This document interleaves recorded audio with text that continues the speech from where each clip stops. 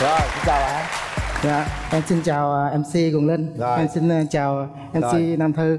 Ngồi Em đi xin bạn. chào à, tất cả khán giả trong trường quay ạ. mời bạn gái giới thiệu về mình trước đi Dạ em xin chào MC Quyền Linh ạ Em chào chị Nam Thư Em Chào em. chào quý vị khán giả đang ngồi phía dưới Em tên là Nguyễn Thanh Thảo Và em đến từ Bình Dương ạ Năm nay em nhiêu tuổi rồi Thảo? Ừm, Dạ em sinh năm 1991 á chị À, mình làm công việc gì hả Thảo?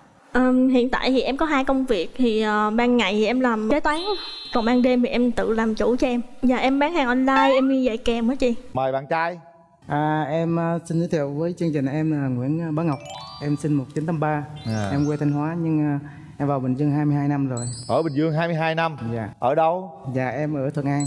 thuận an á hả Dạ. hỏi coi hai người gần nhau không Anh hỏi là em ở chỗ nào Bình Dương vậy em?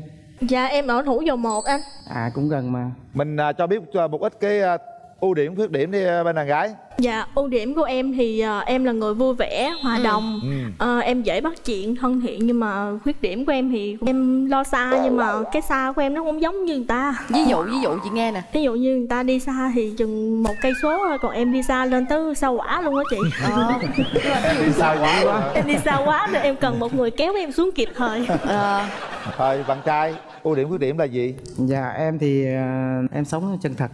chân thật Dạ gì hòa, nữa hòa đồng vui tính. ừ.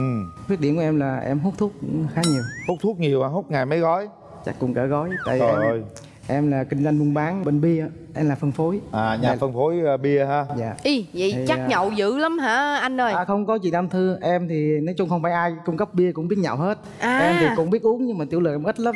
Công việc thì em cũng có tham gia một chút thôi. Vậy thì được. Dạ. nói chung là hút thuốc mà giảm được thì tốt nữa. Dạ. Nha. Rồi đường tình của bên đàn gái sao? Dạ hiện tại thì em cũng trải qua hai mối tình nhỏ nhỏ. Hồi sinh viên của em thôi chứ cũng không có gọi là sâu sắc cho lắm. Dạ. Yêu mấy tháng Cái mối tình lâu nhất của em là thời sinh viên thì kéo dài 3 năm rồi anh. Đã có hứa hẹn gì chưa? Dạ chưa luôn anh. Đã có nắm tay chưa? Dạ chưa luôn, cũng chưa hôn bao giờ. Trời. Yêu 3 năm mà chưa Ba hôn năm? luôn. Thì Có bởi vậy gì? nên tụi em mới chia tay á chị. Anh Ngọc ơi dạ. Mình đã nắm tay bao nhiêu cô rồi? Em thì cũng nắm rất nhiều mà chính thức được ba cô chị. Ba à, cô. Ba cô luôn. mối tình à, cô nào dài nhất? Là cô ờ, đầu tiên ấy nha anh. Tại em thì nói chung là yêu yêu trẻ dữ lắm 23 tuổi em mới có mối tình đầu tiên. Ừ. rồi ba cái mối tình đó tại sao lại chia tay nhau mà Thứ quen trong là- bánh như vậy? thứ nhất thì khi em còn ít tuổi á thì sự nghiệp của em chưa có gì hết mà mình xác định mình cuộc sống ở phương nam này. Rồi à, cái khi mà mình có một cái kinh tế ổn định quen người cuối cùng á thì người ta lại không đồng ý là cuộc sống mình với mẹ mình. À, ý là chỉ hai vợ chồng sống thôi mà em là à, con trai duy nhất gia đình. Em à, phải có trách nhiệm giờ với gia ở đình. với mẹ đúng không? Dạ em thì à, nhà mình nhà Em- riêng mình luôn. Em thì chưa có nhà nhưng tương À. lai một hai năm nữa em sẽ có nhà bởi vì em đang còn vướng bận vào kinh doanh buôn bán. Nhưng mà hướng sắp tới thì khoảng bao lâu nữa thì mình có một, thể một tới hai năm nữa tôi một hai năm Dạ. nữa. Bên đây cũng là một chàng trai có chí hướng nhưng mà Có chí thông hướng. báo trước á, là bên đây là ở với mẹ là bắt buộc phải là làm dâu đó. Dạ. Nếu vậy thì Thảo em có ngại chuyện làm dâu không? Em không có ngại cái vấn đề phải làm dâu Nhưng mà em nghĩ là tốt nhất là nên ở riêng. Tại vì sinh hoạt vợ chồng thì sẽ nhiều cái nó sẽ thoải mái hơn. Thực sự là gia đình anh thì cũng có ít người thôi thì Anh và hai đứa em thôi. Mà Hai đứa em thì nó lấy chồng và sinh sống ngoài Bắc rồi. Thì trong đây thì anh công việc của anh rất là bận Phải có mẹ để phụ giúp nhà cửa nói chung đúng rất, rất rồi. nhiều, nhiều việc. Như vậy thuận lợi đó Bây giờ Thảo em có thể ờ, nói về cái mẫu người đàn ông mà mà em mong muốn ờ, tìm cho mình không? Người yêu của lý tưởng của em. Thật ra thì em cũng không có mẫu gì cho lắm. Chỉ là người đó sống biết hiểu chuyện, biết suy nghĩ cho em. Với lại nhiều khi tính của em thì nó cũng hơi con nít tí xíu á. Ừ. Nên cần một người nó cũng hơi trưởng thành hơn em tí xíu. Rồi bên à, đây muốn một người phụ nữ như thế nào? Thứ nhất là em à, mong muốn một người phụ nữ là hiền là mẫu phụ nữ của gia đình. Của gia đình. Và có một nét đẹp truyền thống rồi để anh qua xem đàn gái coi sao nha. Dạ có gì nói nghe anh. Thôi đàn trai qua xem mắt đàn gái. Dạ À, em chào anh. đàn gái. Dạ. cười rất là tươi ha. Công nhận em cũng là một người à, có chí hướng đó chứ. Dạ. Làm việc sáng rồi trưa chiều tối luôn nữa. Dạ em là người sống tự lập anh. Ừ chính Em xác. độc lập về tài chính. Đúng vậy. À, nãy giờ nghe em bên kia nói thì em cảm nhận ảnh là người thế nào? Em mới cảm nhận sơ sơ thì nghĩ ảnh cũng là người có tình cảm. Đúng rồi tại vì ảnh đang chăm sóc mẹ của mình đó. Thật sự anh nói ở đây á với tư cách rằng anh của em đó Dạ. hãy về sống chung với mẹ chồng đi. Mẹ chồng bây giờ á không phải như mẹ chồng ngày xưa. À, mình về đó mình có rất nhiều cái điều kiện thuận lợi. Có thể em sinh em bé rồi mẹ chồng chăm sóc em đi làm em có thể phát triển.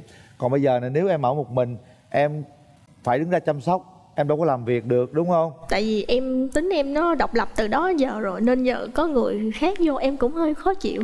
Cái này ờ, em nghĩ là phải ờ, để hai bạn tìm hiểu với nhau rồi ờ, À. thích nghi như thế nào rồi không tức, tức là anh anh muốn em thay đổi cái suy nghĩ đó thôi. Dạ. Thật sống một mình buồn lắm em ơi. Dạ. Ha? Chào Rồi. anh. Dạ em chào chị anh thư. Dạ thôi anh đừng kêu bằng chị. Trời ơi em em trẻ lắm. Anh thích một mẫu người bạn gái như thế nào về ngoại hình á thì ngoại hình thì từ ờ, mét 55 tới mét 6 được rồi chị. Dạ. Cân nặng thì tầm 55 tới 60 cũng được vậy thôi. Vậy vậy thì nãy giờ nghe nói chuyện rồi đó. Anh hình dung cô gái bên này như thế nào? Em nghĩ là cô bên đó cũng cá tính cũng mạnh. Cô nói là cô độc lập thì em cũng bước ra cuộc sống ra bước vào đời á, là lúc 15 tuổi em cũng độc lập từ mình lúc 15 tuổi. Dạ rồi. dạ. Hai người độc lập cưới về hai người sống hai nhà cũng được. Thôi cho nó bây giờ lập. mình à, giao lưu người thân đi. Đúng rồi đàn gái đi với ai dạ hôm nay em đến với bạn của em chị Dạ, lời nói đầu tiên thì em xin gửi lời chào đến tất cả mọi người đang có mặt trong phim trường ngày hôm nay à. Dạ thì em chỉ có vài điều muốn nói là bạn của em thì tính tình thì khá là trẻ con. Anh nói chuyện ờ, thì rất là vô tư, hồn nhiên và nghĩ sao nói vậy.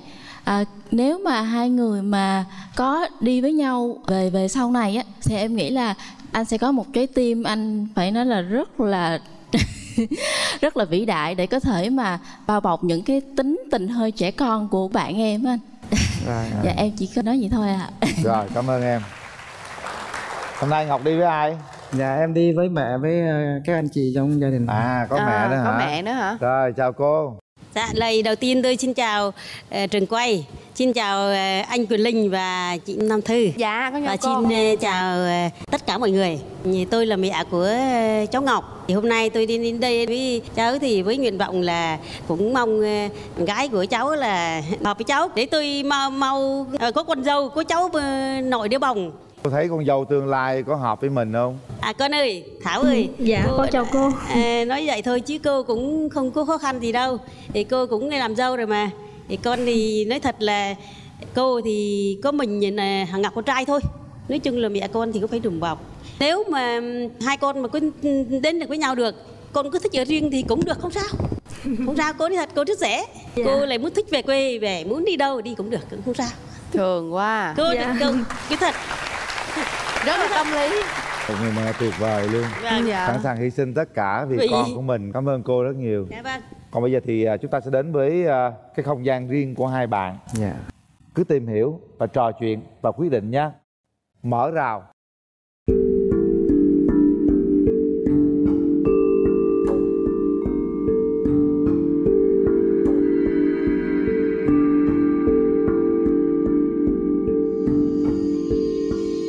chào em dạ em chào anh. Anh có muốn quà tặng em dạ em cũng có món quà tặng anh. Dạ, nên là quyển sách em tâm đắc nhất nhưng mà em chưa có kịp đọc nó nên hy vọng là anh sẽ ngồi đọc cho em nghe. Dạ anh cảm ơn em. Dạ em đây là 99 bó hồng cũng tượng trưng cho tình cảm của anh dành cho em đấy ạ.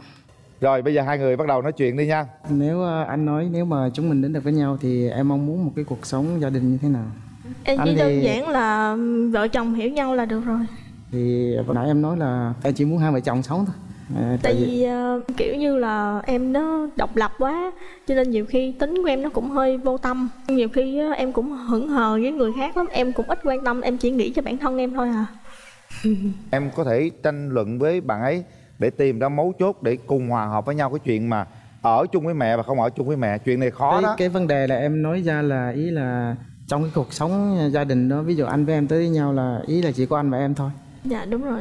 Cái đó thì với anh thì anh anh thể chấp nhận được. Không thật ra thì um, nó cũng xuất phát từ cái khuyết điểm của em. Tại vì em là cái người hơi hay lo xa này kia nên là em nghĩ là ở chung thì em thấy có nhiều cái mâu thuẫn á. Thì khi em chỉ thương cái người đàn ông của mình thôi. Tại vì khi mà lúc đó người ta sẽ đứng ở giữa mẹ và vợ. Không biết là phải xử lý là nghiêng về bên nào. Nó cũng sẽ dẫn đến cái vấn đề là em không thích ở chung. Rồi, thì vấn đề em muốn nói rồi thì anh cũng nói là vấn đề là nói chung để nói nhanh Quỳnh Linh để tìm ra được cái cái chung nó thiệt là khó. Vì anh cũng quan điểm của anh là như vậy. Dạ. Bây giờ quan điểm cuối cùng bởi cái đây là cái mà nãy giờ vẫn chưa giải quyết được. Em lấy vợ. Dạ. Bắt buộc là phải về sống chung với em với mẹ. Dạ đúng rồi. Đúng không? Em lấy chồng. Dạ. Em không muốn sống chung với mẹ chồng. Đúng không? Dạ đúng rồi. Quyết định như vậy. Dạ. Không sống chung với ai hết Ừ, có thể là sống chung với gia đình của em. Ừ, có thể là sống chung với gia đình của em. À tức là sống chung gia đình em thì được. Dạ đúng rồi sống chung gia đình em thì được. Y cái đó phải lo xa mà cái đó là ích kỷ đó bé gái.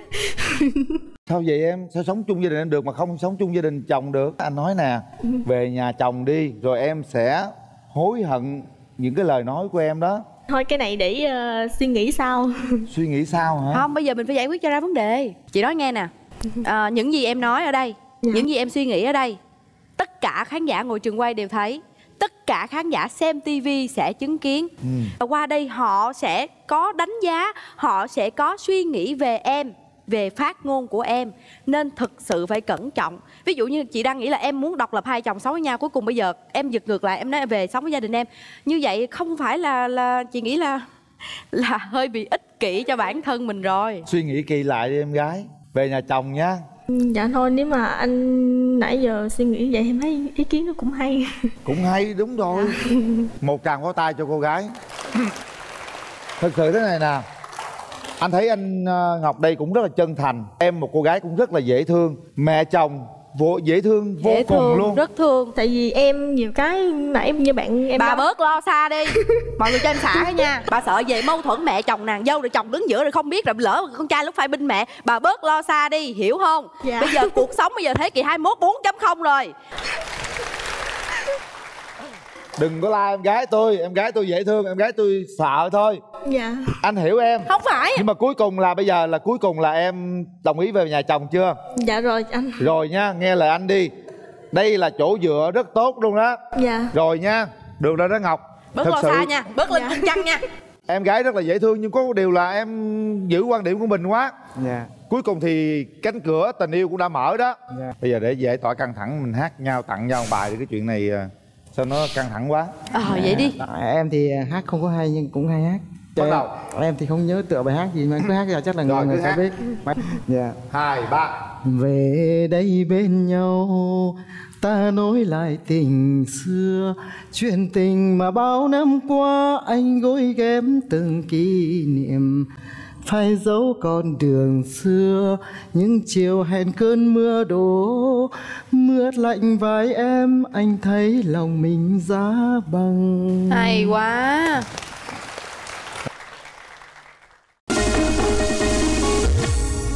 Giây phút quyết định đã tới.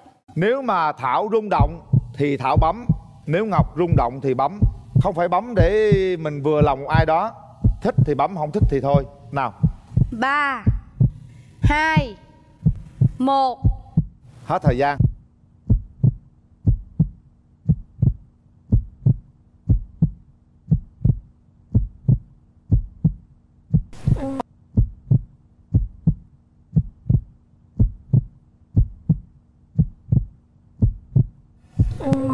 Em có bấm không vậy? Dạ không. Rồi cảm ơn em. Đứng lên nè. Đây hoa của em. Thảo ơi tại Dạ. sao em không bấm thảo? Không thật sự bạn nam cũng là người rất là tốt nhưng mà nãy gia nói là mình chỉ thật sự cảm thấy rung động thì mình mới bấm. Đúng vậy. Dạ tại vì có thể là bạn đó tốt nhưng mà có những cái em chưa thật sự cảm thấy rung động với bạn. Chính xác. Điều đó là một điều mà chúng tôi luôn luôn muốn nó chân thật tại bằng mối hẹn hò. Không rung động tôi tôi bấm cũng không để làm gì cả. Chúng tôi trân trọng những cái tình cảm thật đó những cái quyết định thật đó. Mà hãy mở lòng ra chút xíu nha thảo và tôi hy vọng rằng một ngày sớm nhất thì khán giả truyền hình sẽ bấm nút cho hai bạn Dạ. Em cảm ơn chương trình đã tạo cơ hội cho tụi em đến với nhau. Tuy rằng là không đến được với nhau thì anh cũng ờ, chúc em sẽ tìm được một cái người ờ, phù hợp với mình. dạ Dạ. Cảm ơn em. Mỗi bạn nhận được một voucher giảm giá 50% khi mua máy lọc nước, máy làm mát Yakio tại tất cả các hệ thống Yakio trên toàn quốc. Máy lọc nước Yakio sản xuất 100